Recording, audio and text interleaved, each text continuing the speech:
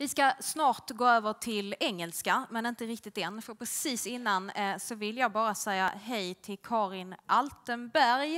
Eh, Karin, kan inte du ställa dig upp och vinka till publiken bara? Så att, eh, Karin kommer att komma upp på scen om en stund. Eh, nästa talare kommer hon att samtala med, så ni inte undrar vad är det där för en person. Karin jobbar på, eh, just nu är hon tjänstledig, men hon jobbar på staben eh, på Riksantikvarieämbetet och om ni känner att det här namnet klingar bekant så är hon också författare.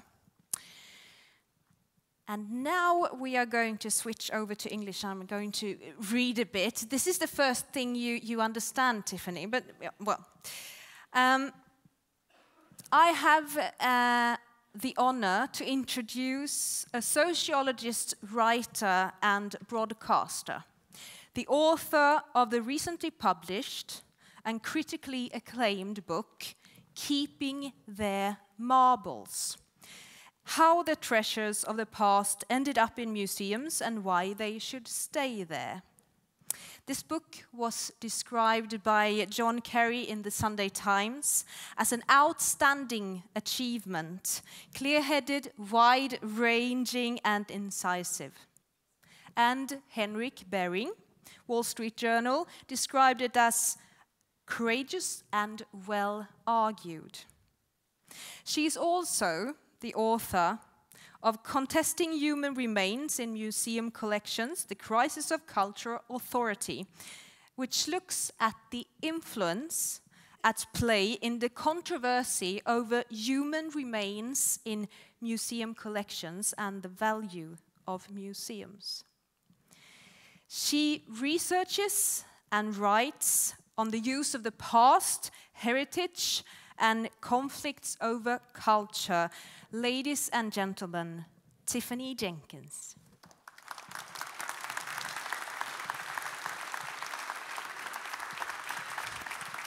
Stage is yours. Thank you. I think I'll stand here. Yeah, you so can I'm move the, the table around as you wish. Oh, yeah.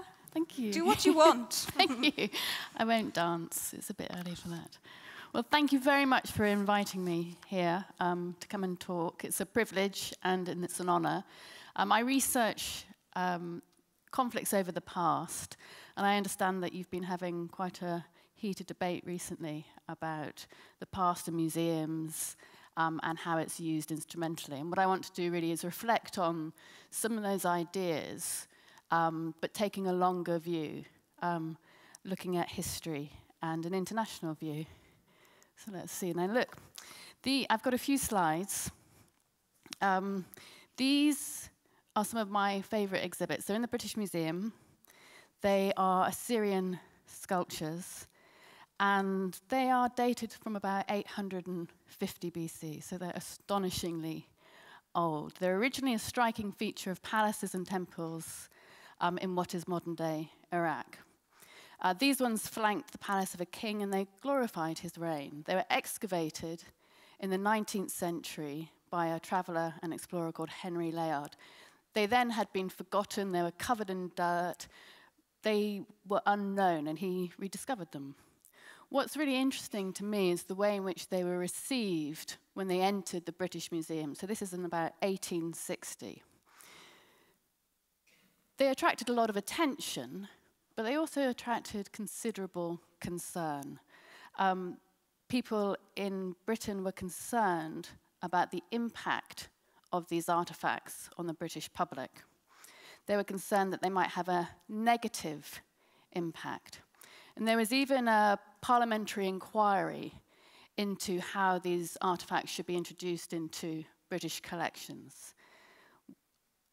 This is what one person asked, a senior person. He said, Do you think there is no fear that by introducing freely into the institution objects of more occasional and peculiar interest, such as, for instance, the sculptures from Nineveh, like the ones that I just showed you, do you think that might not deteriorate the public taste and less incline them than they otherwise would be to study works of great antiquity and great art? So there was a concern that these might corrupt the public taste. Um, in particular, there was a concern that these sculptures might corrupt the public taste when it comes to the Elgin marbles. I'm sure you all know the Elgin marbles. They're the ones in the British Museum, not in the Acropolis.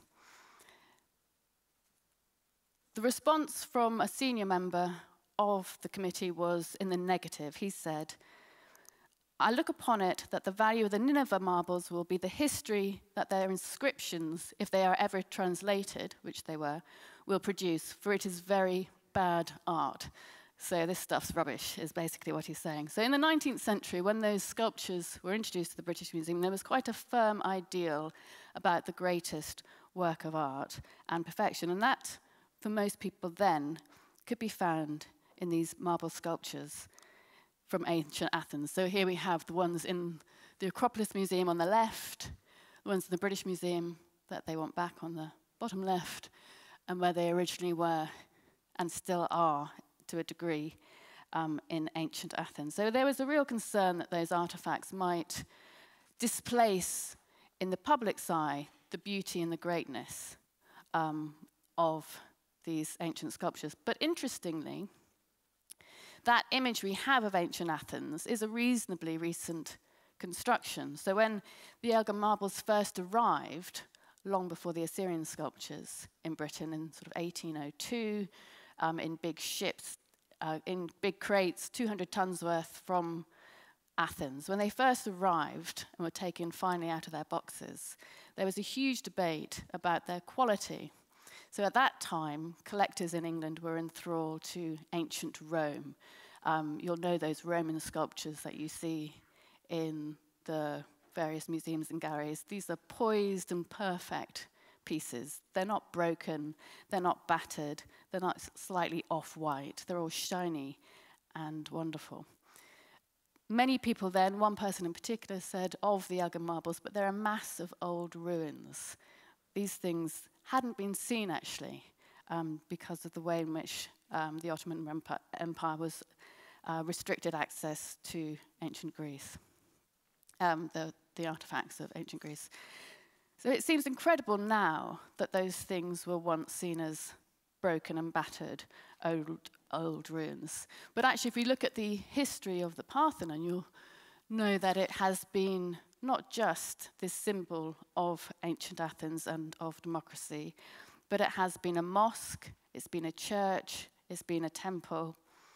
And when Elgin found it, at the turn of the century, it was a ruin, it was a quarry. The Turks were using it as a garrison. And it was only just after then that you had this rediscovery of ancient Athens. You had a Bavarian elite who came in and started to run Greece, and the English elite who had in their mind, they fell in love with, with ancient Athens. They were looking for legitimation in some respects. The Prince Otto, who came in to run the new state of Greece, was looking for legitimation of his own rule wanted to kind of distance himself from the most recent past and link himself with the great leaders of antiquity. So he made, helped to make the link between classical antiquities and Greek nationhood inextricable. He tore down the buildings around it. Um, there was a mosque then. There was all sorts of recent constructions, and he got rid of them, got rid of them all. And at the same time, the English were doing something relatively similar with the Elgin marbles in Britain, um, rather than it being a big debate when they arrived about who owns them, are they Greek? I mean, Greece didn't exist as a state then. The debate was over their quality and whether they should be acquired on that basis. And many people made the argument that if you had these great works of art in Britain, a number of things would flow from it. Um, new great British art would flow from it. The values of that democracy, of freedom, would perhaps be reborn in Britain. Neither happened, it should say.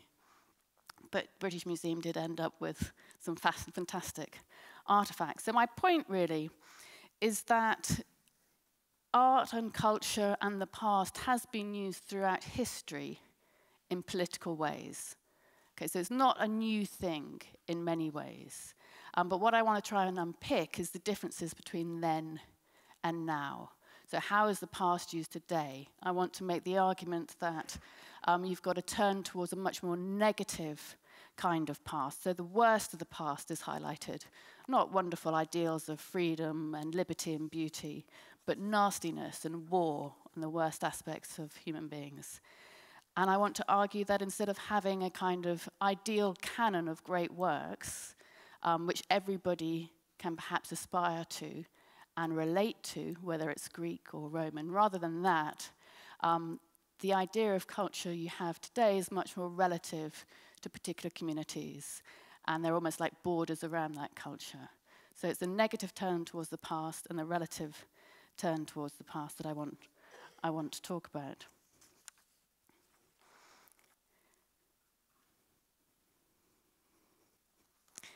We've got um, a, a recent, obviously politics is changing quite a lot at the moment. But the prime minister we had up until recently, David Cameron, is a conservative prime minister. The tradition of conservatism is about conserving the past, um, or at least it was. And there was very much a kind of ideal for some time about the good old days. Um, I think you know what I mean when I talk about the good old days. That would be the something that the Prime Minister of Britain would have once talked about, particularly if he was Conservative. But one thing he recently said was that um, we don't want to go back to the bad old days. So you have this kind of fixation with the bad old days. I think the good old days have been replaced by the bad old days. Um, you can see this in the emergence of the move towards demands for reparations. Um, it's a really big movement in the States. Um, reparations for slavery, whether it's financial or some sort of recognition that takes into account that people may have been born, may have ancestors who were once slaves. So Georgetown in Washington is beginning to look at recognizing um, slavery in its admissions today. And this is something that's you know two, three hundred years old, and it's the idea of reparations, that you need to repair the past, that the past is a terrible place and you need to go and make amends for it, is really prominent and really important in the debate over who owns culture. So the Elgin marbles, the Benin bronzes, such as these ones actually. Oh, no, that's the Parthenon when there was a mosque inside. It's a very different picture to the one that we have now of ancient Athens.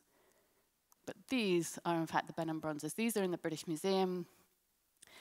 They were um, created in Benin, which, which is modern day Nigeria, southern Nigeria, from the sort of 12th century onwards, in what were tremendous, flourishing golden ages. Uh, students in Oxford, uh, not in Nigeria, by the way, but in Oxford, want them returned to Nigeria. Um, there's one in Cambridge University that they want to, a cockerel that they want returned to Nigeria. So the Nigerians haven't asked them back, but the students have campaigned, and it does look that negotiations are in play and, that, and it will go back. The main reason, although there are two, um, one being that it is African, not British, uh, but the main reason is that um, because of the sins of colonization.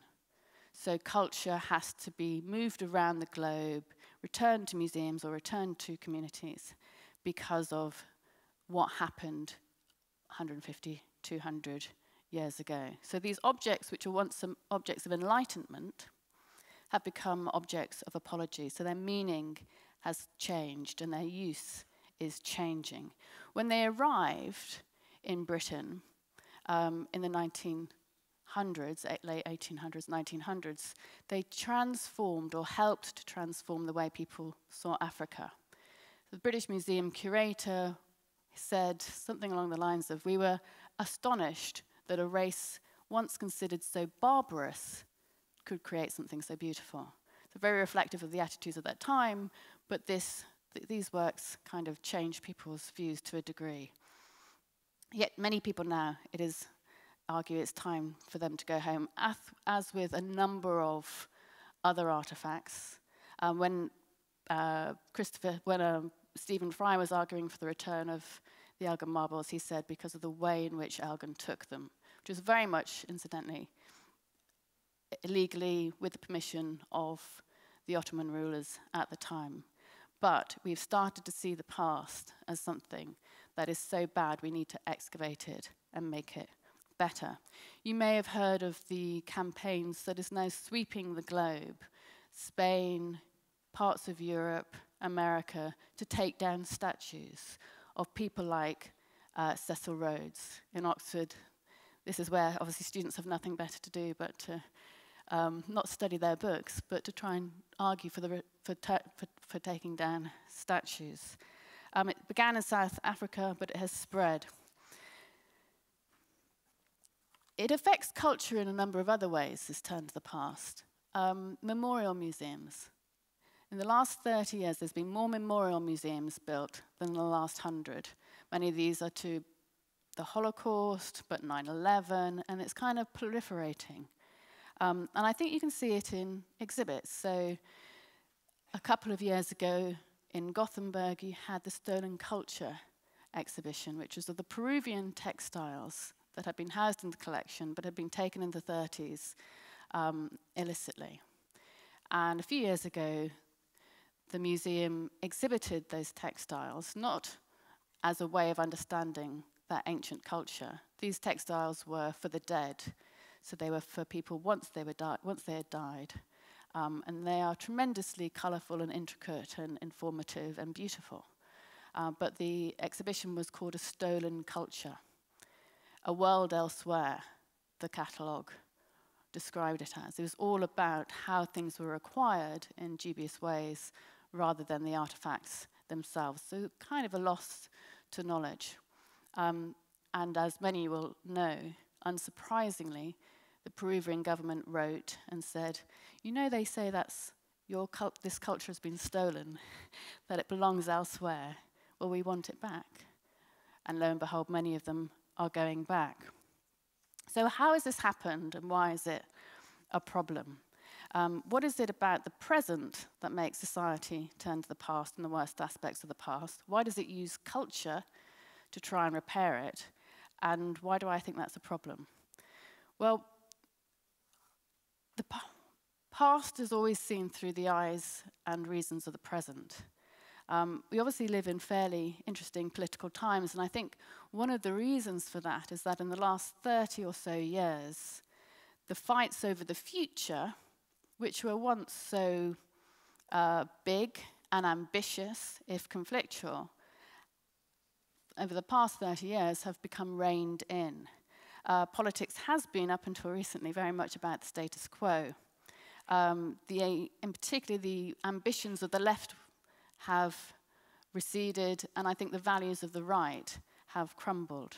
And in that context, instead of fighting over what could be and what should be, you have uh, the, the, past becoming the battleground for all sorts of contemporary conflicts. You know, there used to be a, a saying in left wing organizations which went along the lines of don't mourn, organize. Don't mourn, organize, which recognizes the reality of the situation. So things are difficult and need to be confronted, and we need to get on with it, even though it's hard. And that has been replaced by a very different attitude, which is we must organize to mourn we must organize to mourn. So we become um, kind of, we search out victim identities and see the worst in each other.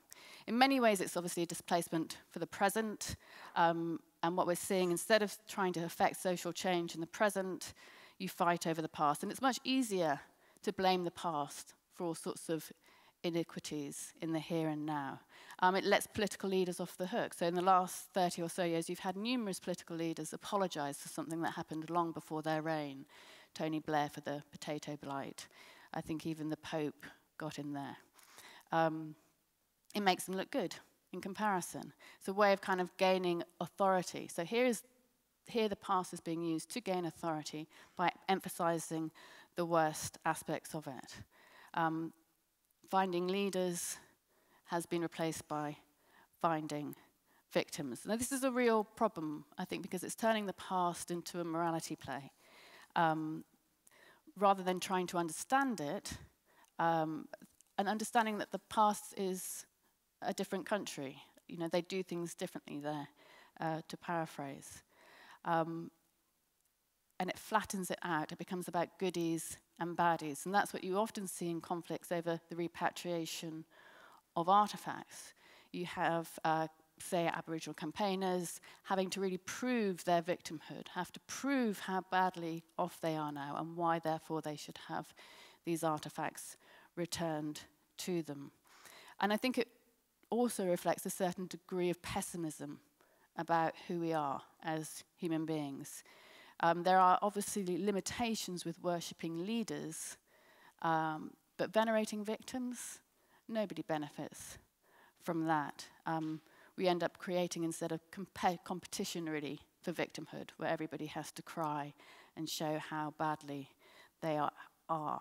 And you end up having people encouraged to seek identity in suffering. So, why culture? It's obviously this turn towards the past and the demand for reparations affects everything, but culture in particular has been called upon to act in this way. And it's not just because I uh, research museums. What's interesting is that up until 30, 40 years ago, they would never have been asked to do some of the things that they are now being asked to do. And I think what you have is a kind of different quality of politicization of culture that has come with the absence of social change and the absence of asking politics to do things and the turn towards culture to succeed in achieving those aims. It has come about at the same time as culture is no longer confident in its own value. So the two things kind of work in a parasitical relationship. Culture, in, certainly in many places I've looked at, has fallen over itself, the cultural sector, to embrace political leaders who tell them in the words of a new Labour report, that they are centres for social inclusion. They have been too keen to embrace this role because they are unconfident with their original purpose. I want to talk about two examples of this and what it means um, that have taken place really since 2004 in the States. The first is this institution, the Museum of the American Indian in Washington, which opened in 2004. Um, this is described as a highly activist museum, very political in many cases, and an interventionist museum. And one of the reasons why it's quite an interesting case study is because the collection came from a collector called Gorge George Gustav Heye, collecting at the end of the wars between American Indians and the settlers it was all his stuff. Um, that was very much, it was on show in a museum in New York for many years at the turn of the century. And now, that museum here, which opened in 2004, much larger, considerable larger budget, actually much less is on show. Um, good quality, fascinating items are no longer on show. And if you're a member of a particular tribe and you have a particular position in the tribe, you can decide what is on show, if it's not on show, how it's cared for, whether it deteriorates, um, and also the content of the exhibitions. It is a museum that is run on the basis of ethnicity. And it's done in the name of helping Native American communities today. So when at the launch, this is what Secretary Adams said, I have no doubt that the launching of the National Museum of the American Indian represents a fundamental turning point for the Smithsonian. So it's the Smithsonian Institute, one of the most, if not the most important institutions in, Brit in, um, in America. It says this institution will begin to correct a vast wrong and all the myths and stereotypes with which we surrounded it in order to hide or at least not to confront it ourselves. Its aim is to affirm the lives of Native Americans and to grant them control over telling their own history, partly to repair the past. We must let them correct the wrongs of history. Um, this has had really serious consequences for the pursuit of knowledge. So you cannot see artifacts, you cannot research them, you cannot look at them unless you're of the right ethnicity. And there's a kind of apartheid approach to knowledge there that is extremely dangerous. And had it been a different ethnic group, had it been, say, what about white men? Nobody would put up with it uh, because they know it's wrong and it's dangerous.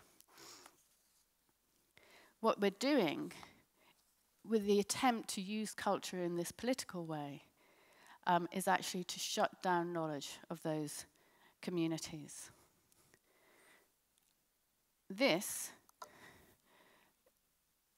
is the National Museum of African American History and Culture, which has already been mentioned this morning. Now, this was opened in September, um, and I think it's trying to do some of the things that the Native American Museum is doing, but not quite so explicitly.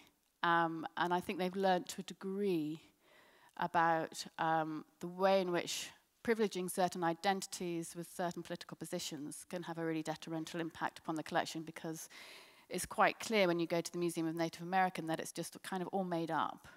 It's like this very romantic idea, and you learn very little about people or their collections. So the aim here is to is well, I'll tell you a little bit about the history of it. It took some time for it to be agreed to take place because people were concerned that a museum devoted to one ethnicity would lead to the multiplication of other museums. There was a fragmentation. So, what's wrong, many people said, uh, with just having the Museum of American History or a Museum of Slavery? I mean, what happens when you put it as a black museum? Um, will we get Museum of Latinos? Will we get Museum of Transgender? Um, and I think we probably will get that, but the director makes the argument, Lonnie Bunch, that this is you cannot understand America without understanding Black America, and I think there's an interesting argument uh, to make there. But I do think we will see continuation of fragmentation about the past. But the second, the second thing this is uh, meant to do, and this is the words of the, in the words of Lonnie Bunch, the director, he hopes to strike a balance between a narrative of progress and recognizing suffering of the past and how it continues today. He writes in, the, in an essay for the Smithsonian The museum needs to be a place that finds the right tension between moments of pain and stories of res- resiliency and uplift. I hope that the museum can play a small part in helping our nation grapple with its tortured racial past and even help us find a bit of reconciliation. That's quite high expectations for a museum. To create reconciliation, to help a nation grapple with its tortured racial past, and to find moments of uplift and the recognition of suffering. Serious burden placed on this collection. At the same time, the collection is bitty and weak. I mean, this is the first institution run by the Smithsonian that began without a collection which is a peculiar thing to imbue objects that don't even exist with the power to do all of that. Um, and I think what you get is two things. One is that uh, you no longer look at objects as historical objects, things that tell you about the past, variety of different pasts, variety of different approaches. You look at them instead of way of a kind of objects of therapy. That is what they are there to do for you. I think that helps you to uh, the, the negative impact of, is the way you also approach history as just a morality play. Is it good? Is it bad? Were they right? Were they wrong? Uh, rather than as an investigation. And it does put people into little boxes: goodies, baddies, victim. Are you on the? Are you white? You must have been therefore involved somehow in slavery, or your ancestors were. A kind of almost racializing of people. Now, I was at the opening of this museum. It's really very moving. It's very striking on the National Mall. All the buildings are white, and there's this kind of copper glazed, well, it actually looks like a bit like a bunker. Um, but it's interesting. Uh, but Obama spoke, and um, the crowd were really waiting for him because people are angry um, and they want to be told that they're in the right and they're right to be angry. And he did the opposite, I think. He dampened expectations. He said this a museum can only do so much. And um, I think the outgoing president uh, was right on that matter. So, to draw my comments to a close, the past has always been used, but it's being used in brutal and deleterious ways today. Um, instead of leaders, we have victims. Um, instead of confronting present day problems out with the museum and culture, instead of kind of finding out what we need to do to make a better world, uh, we're looking towards the past to evade that problem. And we are, as a result, losing knowledge. So the Museum of Native American Museum means we are losing knowledge and we cannot ask questions about the past because it is no longer um, open to everybody. Uh, the, the kind of answers have been predetermined and who can ask and make those comments have been decided on the basis of ethnicity. So I'd like to see struggles for a better present and future directed outside culture, more realistic expectations of what we ask of objects. They cannot make apologies for colonization. They can tell us about, in the case of the Benin bronzes, a particular kingdom at a particular time, and they can be inspiring in a number of different ways. We need to reconnect and find the purpose of culture as one that is investigatory, investigatory and not political. Because there is so much about which to be curious, to be inspired by, uh, but too many, I think, have lost sight of the value of culture. To research, to display when it comes, display when it comes to museums what artifacts can tell us about human civilizations, that is enough when it comes to museums. It is a rich and fruitful project. And I think we need to stop apologizing, start investigating, and valuing the role of culture for being culture and nothing more. Thank you.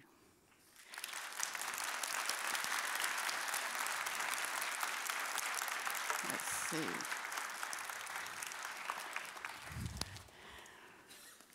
Thank you very much, Tiffany, for uh, opening up the discussion for the next couple of days in such an inspiring and thought-provoking way. I'm sure that a lot of us has a lot of questions and um, opinions and oomph and ahs, and I hope that you'll um, post those questions to Tiffany in a moment. But I'd like first for us to just talk between ourselves a little, and then we'll open up to the audience, if that's okay. Um, first of all, I'd like to say thank you. It's great to have you here, and I know you've been so busy over the last many months promoting your book, Keeping Their Marbles. Um, I read it when it first came out, and I found it immensely liberating. And uh, it is pretty razor sharp at times, but also very elegantly and generously written. So it's sort of um, easy to take in, I think, um, and I highly recommend it.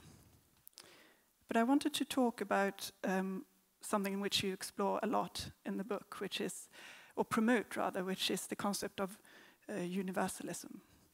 And last year, for those of you who were at Höstmötet, Kenan Malik opened, he gave the keynote speak, and he spoke about the problems and um, what he thinks as the problems and pitfalls of multiculturalism the way that uh, multiculturalist policies can uh, create um, distinction between people and um, he, he calls it cultural enclaves or silos, building walls between people.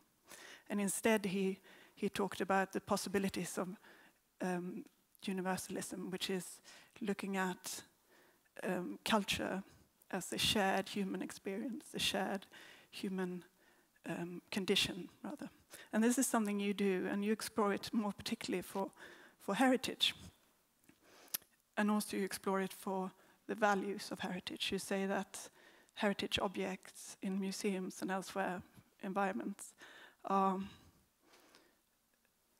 they're interesting and attractive because of their unfamiliarity, because of their mystery to some extent. They are interesting because they are uh, timeless to some extent, and and they they they sort of transcend time and place. And so I'm interested in that kind of universal aspects of uh, heritage. And another thing you said recently at um, discussion at the um, London School of Economics about the Global Museum. You were talking about the purpose, again, you were talking about that now, but the purpose of um, the cultural institution, and particularly the heritage institution. And you said it was preservation, truth, and access. Mm. And I think for many of us here, we'll recognize part of that. The strapline of the Heritage Board here is, or the bits of it is um, bevara och använda. So that's preservation and access. But I mm -hmm. wanted to mm-hmm. ask you about the truth bit. Is that a universal concept, or how, how do you think about the truth bit of that? Um, th the truth is a universal concept. It is open to everyone, and it is a kind of constant open question. The truth is, is always provisional. Um, I think no matter what your identity is, you can access and try and find out the truth which is communicable to everyone. But you know, even stand, even though I believe that, and standing here, I feel sometimes I have to say truth with a kind of qualification around it because it is so problematized and it, it, has been subject to such scrutiny um, within the academy and out with the academy. I think if you if you say truth today, you have to kind of you feel like you have to apologize when it is when we should be unashamedly ambitious about finding the truth. Um, in institutions, in the academy, in museums, there are things that happened that you can discover, uh, but you have to try and do so. And I think people have become a little bit uh, ashamed and uncomfortable about that possibility, and it's extremely, it's extremely dangerous. And it is, it does kind of relate to your first question about universality. So now you have truths rather than truth, and you have truth that is partial to particular communities. Um, that's what you have with the Museum of the American Indian, the idea that they have a truth about their past. And even if it goes against established knowledge that is properly established, then it doesn't really matter because what matters to them is what's important and what's true. And it's a dereliction of our commitment to truth and understanding, which is really important and should not be underestimated as the difficult project but worthwhile project that it is. In the discussions around universality, it's often very clear um, how fragmentary it is when people start talking about their culture um, you've had this with the debates over cultural appropriation, which you may have had here. You know, Justin Bieber shouldn't wear dreadlocks, dreadlocks because they're African, um, which is a more ridiculous one. But it's, extre it's extreme now, and it is having a really serious impact upon, I think, creativity and on our way in which um, we relate to the arts. The thing about universality is that it wasn't just that you had this kind of it was, it was a discussion really about the audience as much as anything else. So in the 19th century, when you had these institutions being built, um, museum institutions being built, there was the notion that anybody could come. The British Museum was free from the day it opened. Anybody could come, women. I mean, there were many discussions about at the Louvre, at the Ashmolean, there were many concerns about women running around and touching objects, which were reflecting the anxieties of the time. But the point is, they were there and they could go. And there was the kind of idea then that regardless of if you, were, if you had a uterus, regardless of where you were from, you could come in here, in this institution, and see and understand something. Whereas I think today that respect for the audience, the respect that they are capable, competent adults, they're intelligent, rational beings, the respect that they can leave their home, leave their children, leave the poverty of their circumstances and go to something and be inspired by ancient Athens or wherever. That respect is gone because we no longer see people as capable of making that leap. Instead, I think uh, the way in which the audience, the public, is often seen as a bit confined to their own circumstances. So we have things, you know, cultural institutions will try and go to them and reflect them, uh, put a mirror up and say, look, this is, we, we do everything that you want, we do everything that you can have in your own home, rather than stretching them. And I think it's a real disrespect for people. You talk about, you call it the crisis of authority, don't you, as well? And um, so I mean, there, there are several aspects to the crisis of authority, and one of them is judgment, mm. value judgment. And um, so, would you? I mean, if we say that taste, which you talked about to mm -hmm. begin mm-hmm. with, uh, which is a sort of concept to do, but that might be the value judgment of art, but it's not used so much anymore. Uh, and what would be the val value judgment of heritage? Would that be truth then, or knowledge? Well, the truth and knowledge are very linked. Um, I think it's just it's an investigation into the past, what happened, what it meant to people, and the creativity that it resulted in. Um, but I think people are afraid of making judgments, actually. And, um, and I think I think the thing about it is that it's almost like it's almost kind of almost like a private thing. So I'm always amazed that leaders of cultural institutions who I want to I expect to be experts. I expect them to know more than I do about whatever it is their specialism is, um, are often reticent about kind of are often reticent about making judgments in public. They obviously make curatorial decisions all the time, but justifying them in public, which means going out there and saying, this is why I think it, um, I think that doesn't happen often enough. And it's almost like judgment is something that you can have on your own, but you can't have with others. I think one of the things about making judgments um, isn't that we just come to them organically. We're in our home and we read a magazine and we know what we think. It's that you, they're argued over and argued for, and you try and persuade people. I think that's something that people find difficult. Exactly. It's the act of persuasion, which means I think this is great, which is what we do with our friends if we've got a piece of music. This is really good. But cultural institutions are more apologetic than they used to be and should be. So they, they say, well, it's just, you know, don't worry about my opinion. I don't know what I'm talking about. It's what you think that's important. That's disrespectful. It's disrespectful of the culture and it's disrespectful of the audience. And it's, there's something disingenuous about it as well. And I think if you think about how canons are made, as in not the things that fire balls, but qualities, uh, a kind of hierarchy of judgment about what is good, which is forever shifting, but they are all consequences of critical conflicts where people put their reputation on the line and say, I think this is good. You know, Beckett is brilliant. Go back and see him. When he was first played, everybody thought he was no good. And the critics, critics also have been really devalued were the ones to say, go back and take a second look and encourage people to go, which means saying, I think this is good and I think you should too. The should is really important. It's not just I think this is good, I think you should too.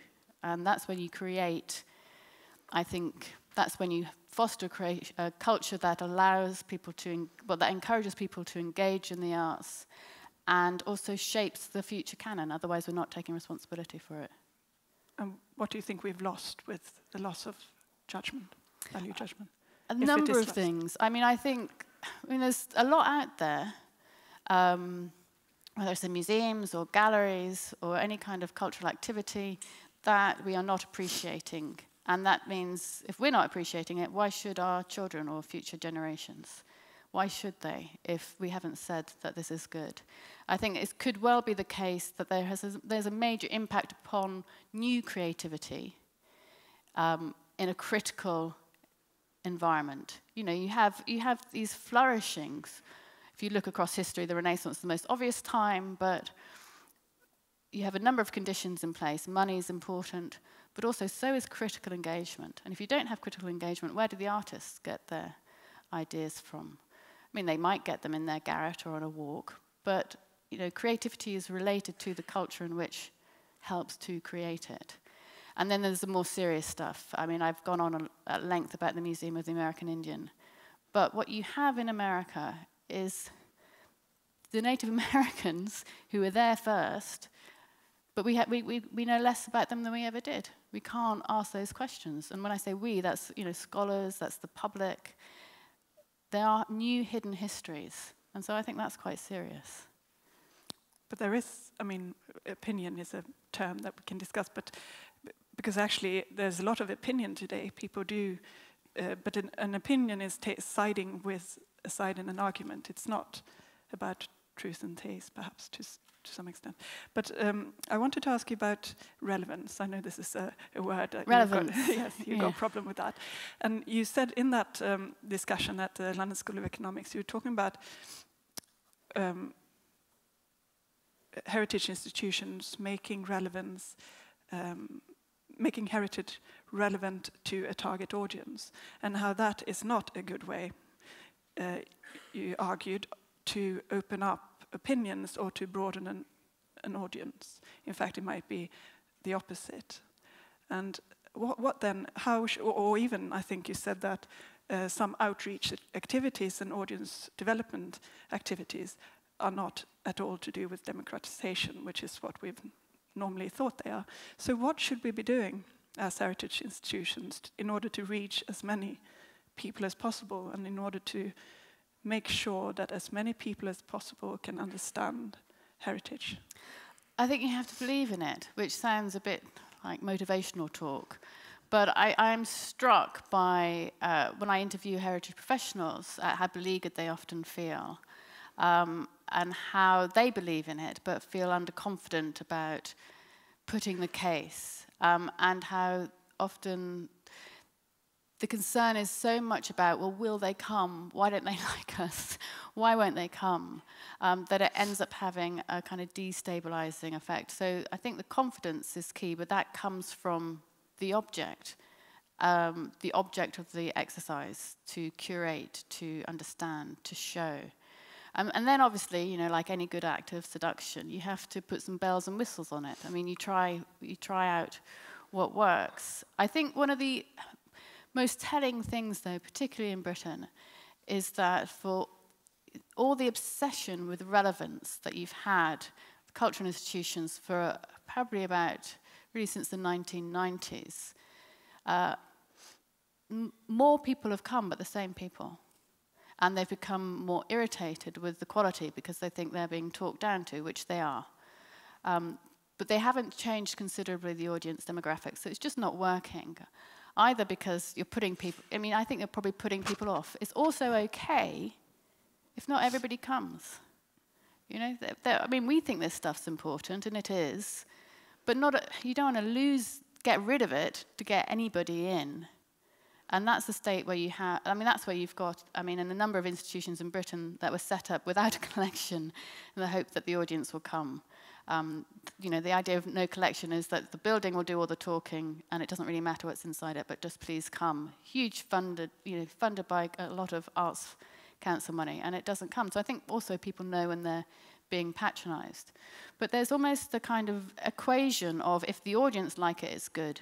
It's not necessarily the case obviously you want the audience to like it, you want an audience.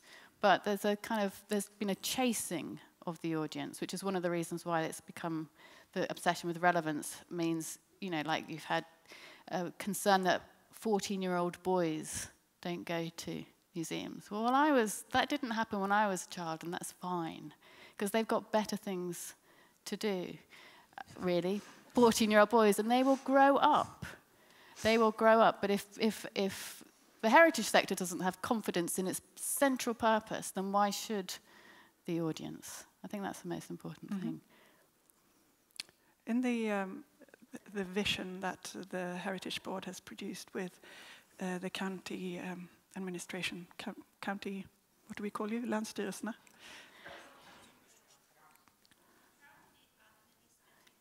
There you go, the Thank county you. administrative boards.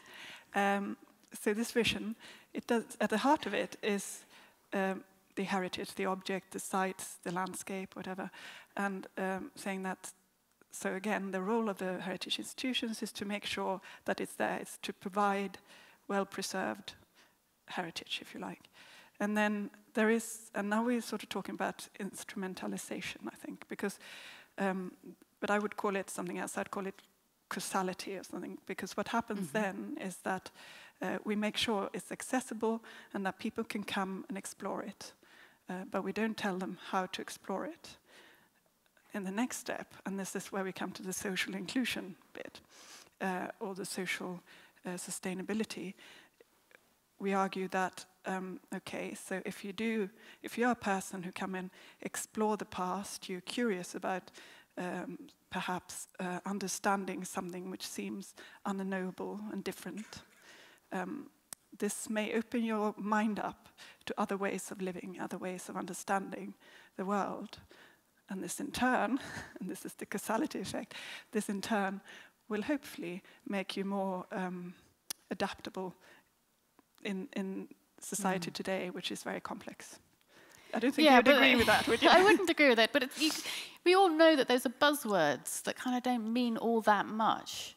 Um, and do you, we want people to be more adaptable? Is that a good thing? I don't know if it is a good thing. Maybe, I mean, maybe that was the wrong different word. Actually, word, yeah. but it just doesn't. It doesn't work like that, does it? We all know that. I mean, culture has an impact, um, but it's unquantifiable, intangible, sometimes entirely contrary to what uh, you would like it to be. I mean, who, we've all read those kind of, you know, if you listen to audiences or if you read the audience comments about an exhibition after they leave it, it is often not what was intended. And that is a good thing because, you know, people are people and they're autonomous and they're their own people. And um, that's a really good thing. So I don't think it's kind of malleable like that. It always fails. I was really struck, actually. I'm sure you've been following Brexit. Um, but in the last you know, 20 years, people in Britain have been obsessed with getting uh, the working class and different kind of um, minority groups into their uh, institutions. They failed to do so. Um, and they also failed to have any sense that th those people were going to vote, or anybody was going to vote to leave. Like they had not one clue, despite all their audience programs. And I think what, they, what you end up doing is just replicating what you think in the idea, in the name of other people. If that makes sense. I think this is a good moment to open up to all of your questions. Um, and there are two roving mics and two people with very orange shirts. Um, and yeah, please yeah. don't speak until you got the mic. And if you could um, just state your name, that'd be grand, please. Have we got any? Any hands? Oh, go on. And also, if you want to put your question or your comment in Swedish, I'd be happy to translate.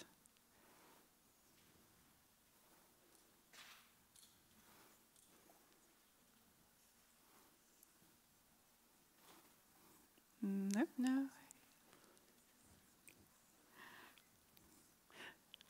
Well, I've got. Okay. Can we have a microphone here, please?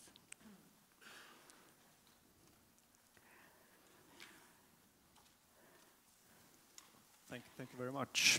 Let's see if it comes on. Yes, I, am just curious, Tiffany. I, um, my name is Lars Amreus. You saw me on the stage earlier. Um, I'm just curious, Tiffany. You, you speak of museums, um, certainly in the Anglo-Saxon world. I know you've worked in Norway as well, so you're sort of familiar with the Scandinavian. But, but this that you're talking about is, is, is this a global Western phenomena? Would you would you say, uh, or, or, do we see differences in, in heritage institutions, museums handling?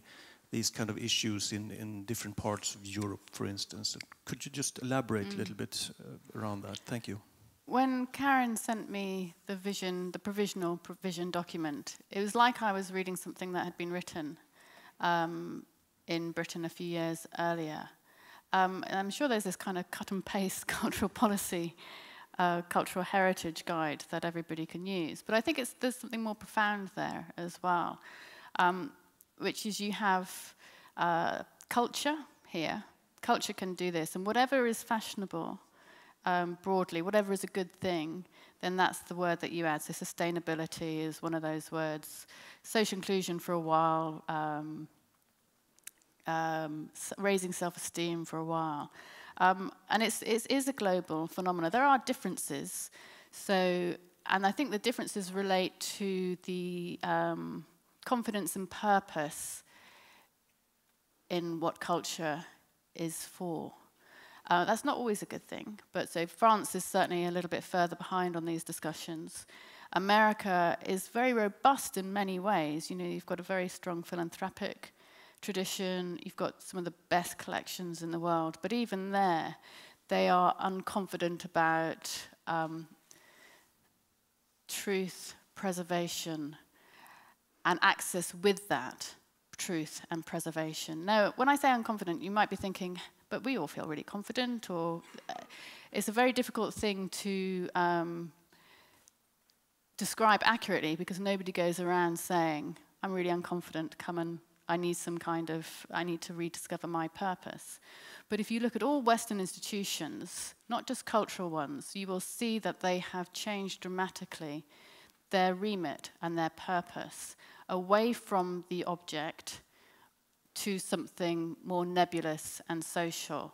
Um, in, uh, higher education is a really uh, important example of this. You know, institutions of higher learning are obsessed with access at the same time as they're obsessed with trying to either be useful to government, whatever the government of the day might be, um, and useful to the economy. And actually, they're not useful to either, very much so, but they have suffered a similar crisis of purpose and lack of confidence in cultural value and the value of what they do, and are therefore really um, vulnerable to um, all sorts of uh, whatever might be fashionable at the time. And I think there's something else that's quite interesting, which is that um, the global, I mean, Karen mentioned I did this discussion with the director of the Guggenheim, who's setting up all these global museums, museums across the globe. And um, the use of the word global and world is really uh, frequent now. So the British Museum was the first institution with the prefix British.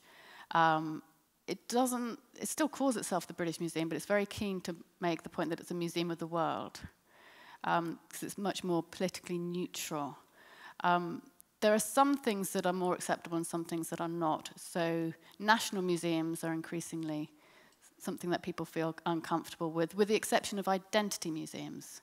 So certain identities are okay, ethnicity, uh, indigeneity, but English, that's something that people feel really uncomfortable with. British, that's something that people feel uncomfortable with, and to a degree, American.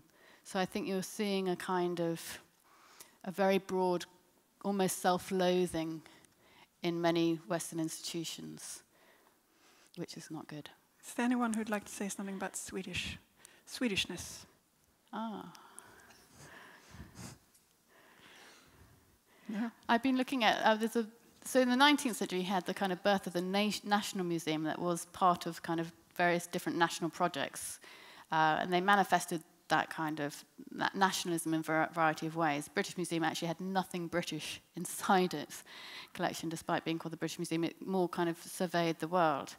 And one thing you have now is the um, proliferation of museums around migration um, and immigration. It's the really big trend in cultural institutions.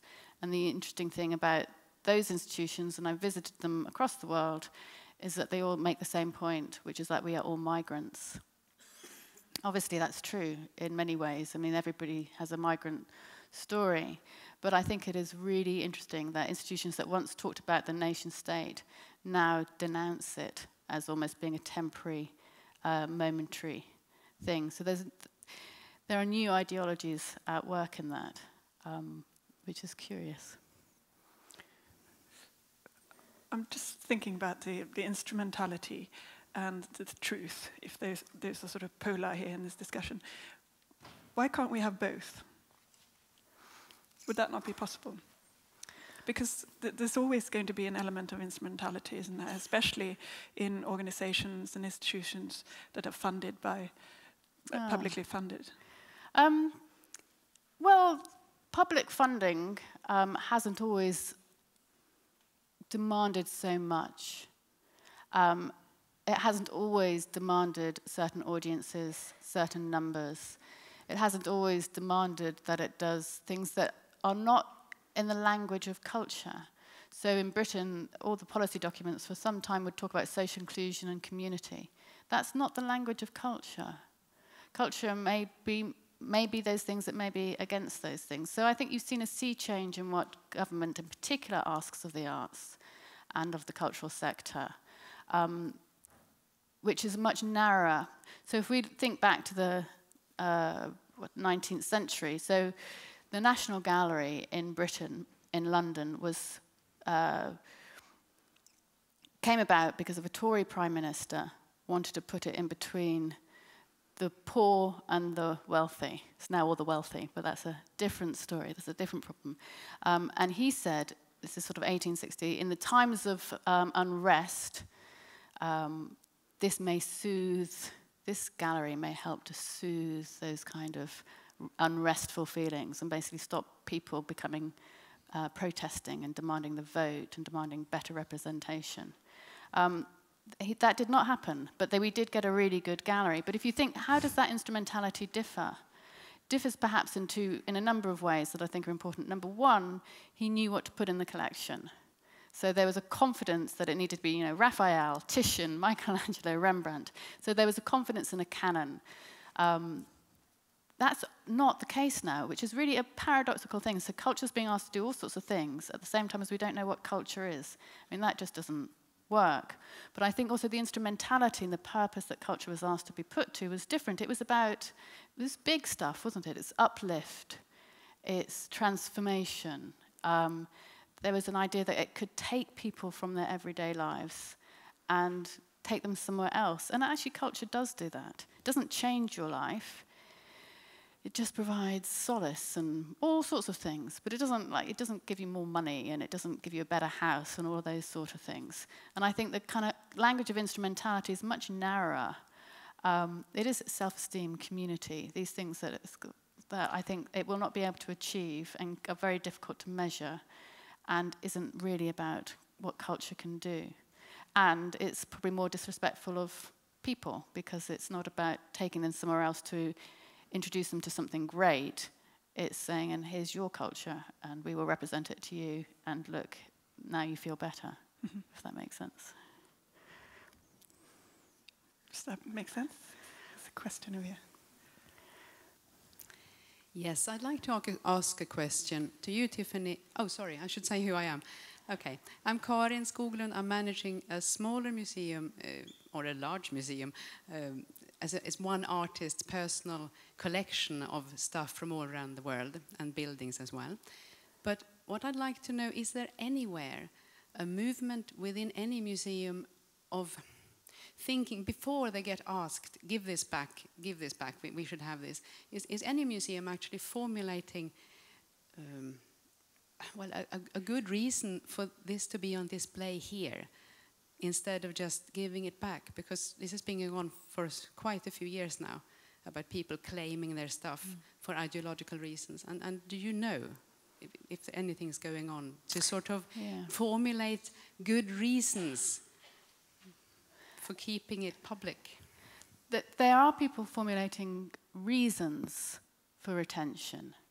Um, probably the most successful is uh, was Neil MacGregor at the British Museum. So the British Museum is obviously a real focal point for demands because it's such a big and important institution. And often demands are as much about kind of accusation and complaining as it is getting something back. Because I mean, actually, when things are returned, it, that you can no longer make the kind of claim, you can no longer use it as a political weapon, and it's awkward because uh, you've got to do something with the objects that are often better suited for, for museums. Um, but I think the fact that he cannot uh, argue for the museum uh, in simple terms of preservation, truth, and access to the past, he cannot do that, tells you something about the temper of the time. So one of the most successful museum leaders in the world cannot say that. Instead, he has to say something that's much more political um, and instrumental, and probably not true, which is that he talks up the problems of nationalism in places like Turkey, um, Hungary, and he says this institution can help us defeat that by talking about the complexity of culture. And it's a global museum, not a British museum, so there's a slight defensiveness in there and an overreach, which I think probably overstates the problems of nationalism. And um, kind of says that it will do something to solve it, which it will not. It does show the complexity of cultures, but not always, and that is not its purpose. Um, I think that repatriation issue is really, obviously I'd say this, repatriation issue is really interesting because it's not just about groups asking for things back. I see it as about um, one of the, so in the last 30 years, you've had a huge rise in claims for return from all sorts of different groups, which I think reflects the, the way in which culture is asked to do political things. I think it also reflects a kind of lack of belief in what museums are for, so they're no longer, if, if we don't know what they're for, why should they have their stuff? Why not just give it back? Um, there are many cases where the institution itself almost invites claims or even makes the claim themselves. And this happens particularly in America with Native American communities. So museum leaders have contacted time and time and time again Native American communities to say, look, we've got your stuff. Um, please come and take it. Some cases they do, in other cases they're like, what are you talking about? We've got other things to be getting on with. We're quite happy with the institution having this, um, having this stuff. Now in Denver recently, they had these African totems, and they'd been acquired legitimately. They're very popular, uh, but the curator there contacted Africa for five years. He, I mean, this is not a country that wanted them back. For five years, he wrote to them and said, please, please, please take this stuff. And finally, they said, all right, but if you pay for the return. And he said, yes. So there's a complicated dynamic there. And it's very easy to say, oh, it's just claimant groups. It's not. Institutions, through either not valuing what they do or for not thinking it's their role to kind of preserve and understand culture, kind of are pushing those artifacts away as much as there's a pull from out, outside the institution We've got a question just here. Could you put your hand up, please?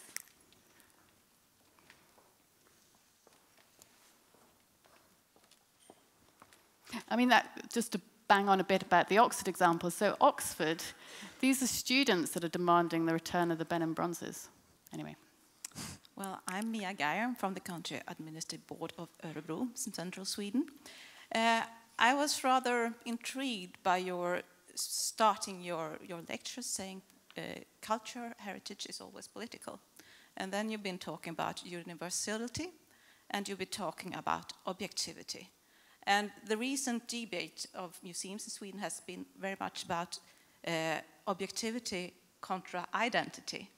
But I was thinking about, would you please say something about what is the difference between universality and objectivity? Because in my opinion, there is no such thing as objectivity. There's no such thing as objectivity? No, because we are, as researchers or curators or whatever our purpose is, our uh, um, message, uh, well, whatever, whatever uppdrag, uh, mission is, uh, we are always steered by the ideas in our times, and those ideas will always be uh, the acts of human, human being as political beings. So I was very intrigued. Is there mm. such have you, have you ever thought about the difference between universality and objectivity? Um, well, I should say, I think it's, objectivity as a researcher is really hard, and it is, it's, gosh, I mean, we fight it all every day um, in our act of reading and writing. And we know our own biases, um, and then there are those that we don't know. And then there are what, you know, biases of the time, and biases of the community. It's really hard, uh, but it is something you strive for because once you give it away, um, you no longer challenge yourself, you no longer seek truth, um, and you no longer seek to test it. That's one reason why kind of publishing and writing and speaking is so important because you're putting your um, opinions, your research up to be tested in the in the in a public arena, which is when I think you help to shape uh, what is accepted as generally right. Um, you were asking about its relationship to universality, is that right?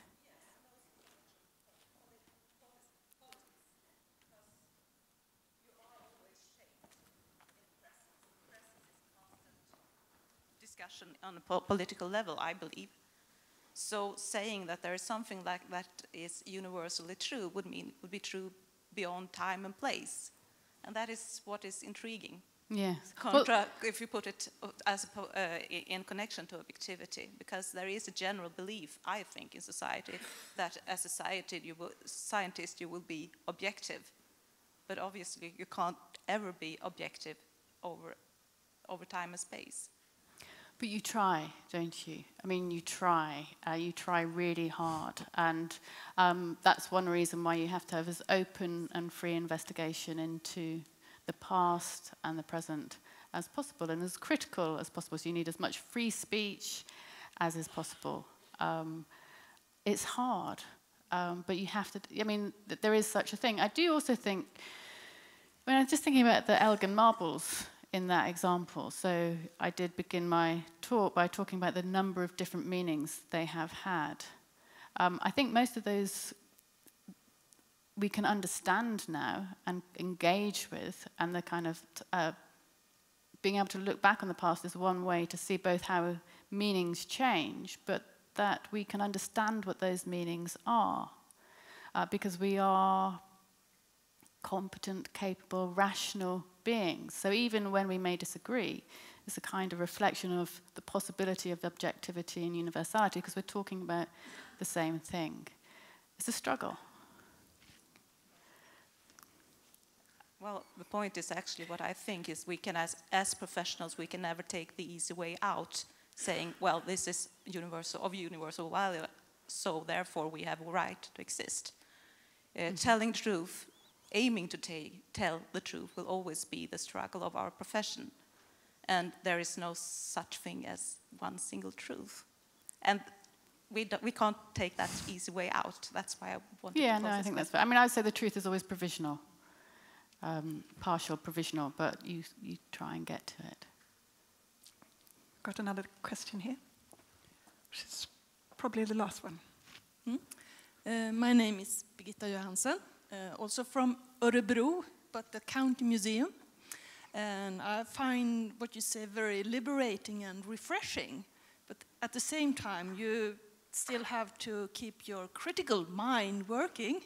Uh, so I'm just wondering, might there be cases where museums should leave things back to groups or other countries or yeah, whatever? Hmm.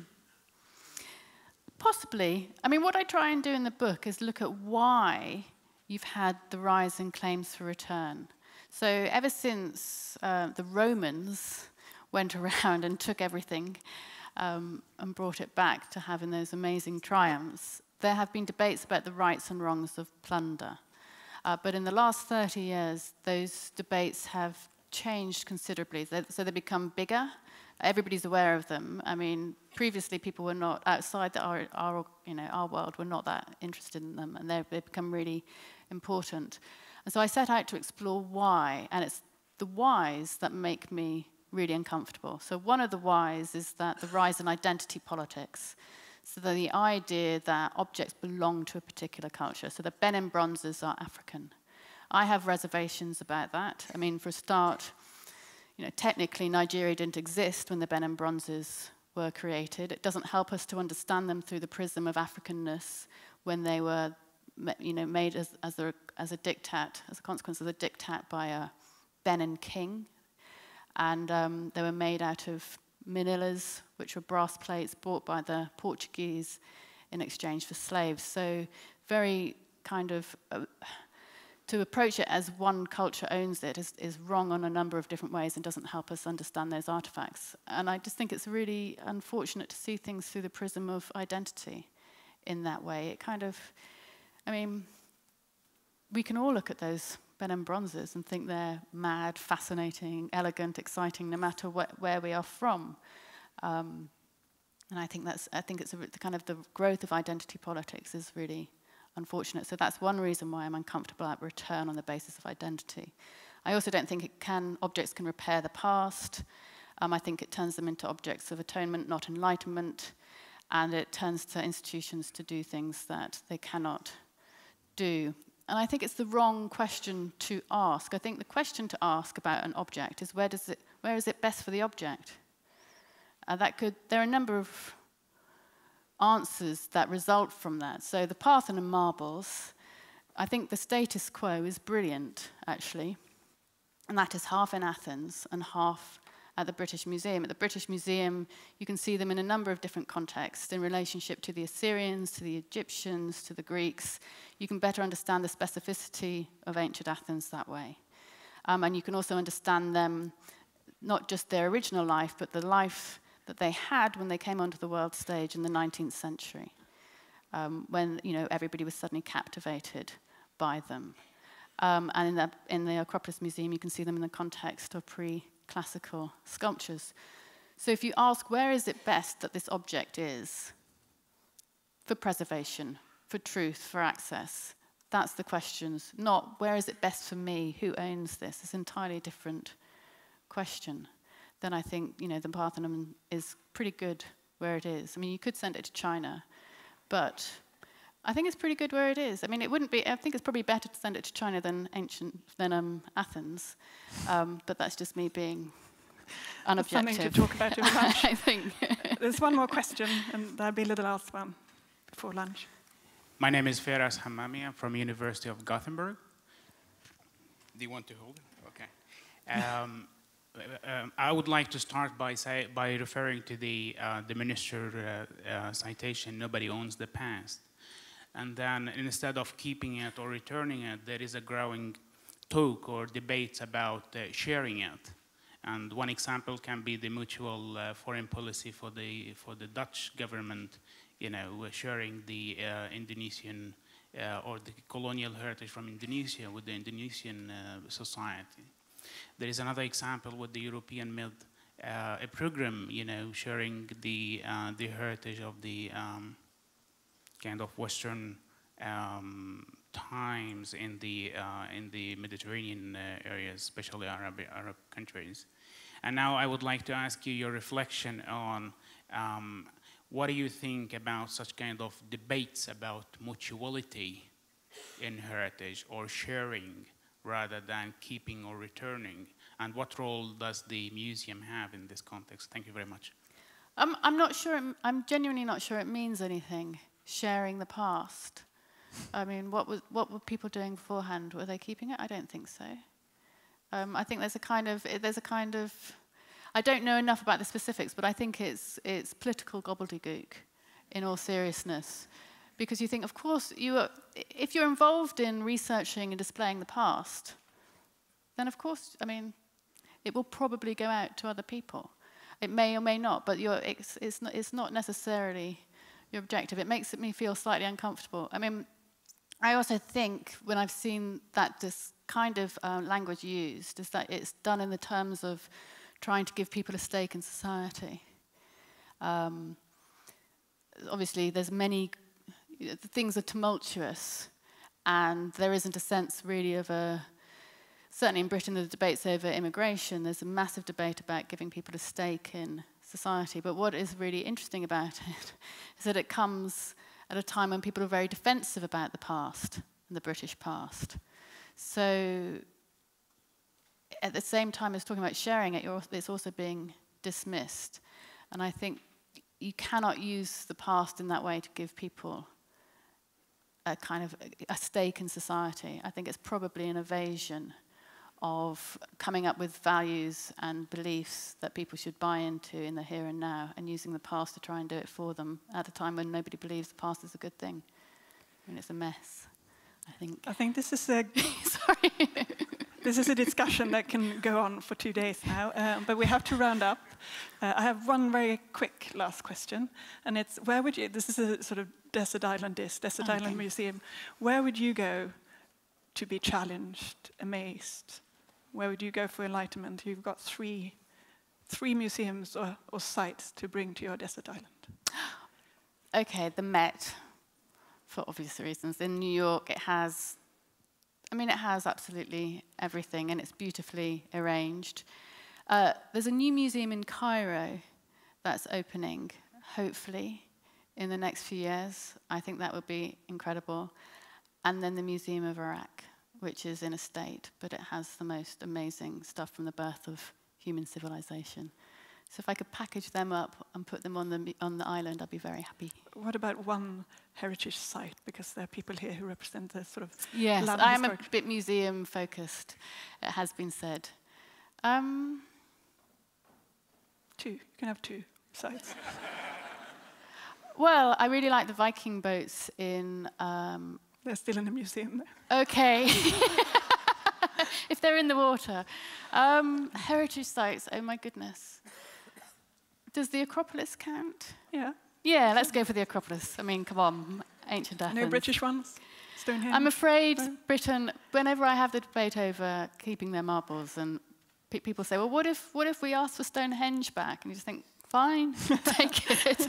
I'm afraid it, it, was not, um, it was not, in many ways, the most creative of places when it comes to producing beautiful heritage sites. So. So Tiffany is here for two days, I think. You're here tomorrow as well, and uh, you're happy for people to come and talk to you. Please do. But yes. for now, please join me in thanking Tiffany for this introduction. Thank you. Oh, thank you. I'll leave Well, that. yeah. A small gift from uh, World Heritage in Visby.